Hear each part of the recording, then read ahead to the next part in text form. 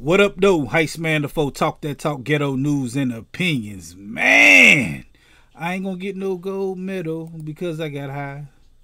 Ooh. No, I'm playing, man. That's what they saying though, man. They saying Sha'Carri Richardson is not gonna be allowed to go to the Olympics, man, because she tested positive for marijuana. Marijuana, man, something small as marijuana, man. They say she was out there puffing, puffing, or maybe she wasn't puffing, puffing. Maybe she was just smoking a little bit.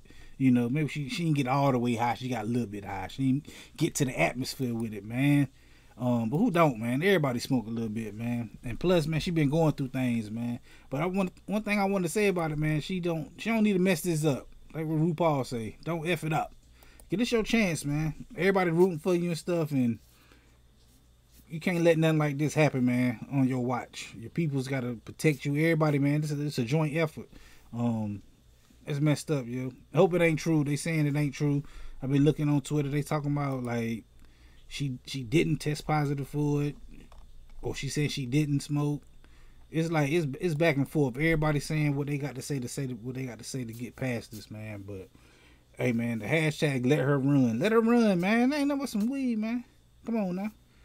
That's messed up, man. I hope this ain't true. I hope they do let her run, man, because the sister, she deserve her chance, man. She done went through her hardships and all that, yo.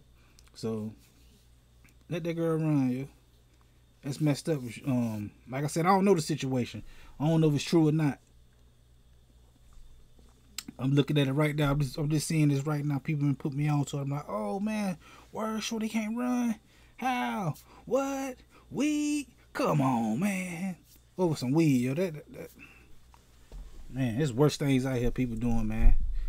And she can get over some weed.